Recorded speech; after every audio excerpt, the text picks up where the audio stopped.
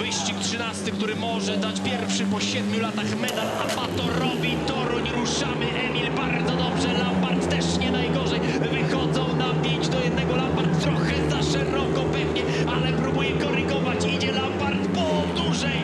Pięknie to wygląda i zaraz dołączy do Emila Sajfudinowa. I niepotrzebne będą rozważania, bo takie rozstrzygnięcie oznacza automatyczny brązowy medal dla Apatora Toruń. Jeszcze próbują naciskać. Woryna z Drabikiem, teraz Woryna zamknął pod płotem Drabika, biorąc na siebie ciężar jakiejkolwiek walki z Lampardem, ale ten jest szybki. Zerknął tylko w lewo.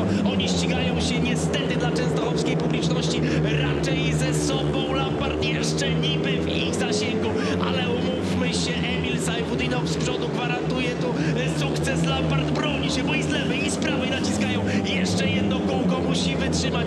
Kacper Woryna daje z siebie ile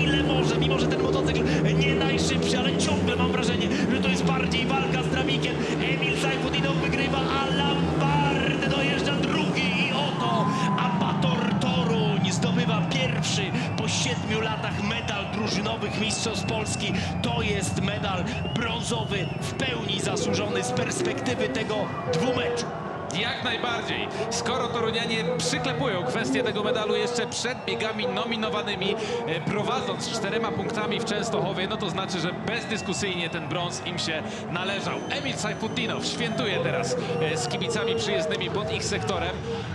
Ależ znakomitą robotę robił Emil przez cały sezon. To jest kolejny doskonały występ Emila Sajfudinowa. Dwa minimalnie e, słabsze mecze wyjazdowe e, w Lublinie w fazie playoff i wcześniej we Wrocławiu w rundzie zasadniczej, a wszystkie pozostałe mocarne. Aczkolwiek największą pozytywną sensacją dzisiejszego dnia jest Wiktor Lampard. Nie powinniśmy być aż tak zaskoczeni, biorąc pod uwagę to, co wydarzyło się w zeszłym tygodniu.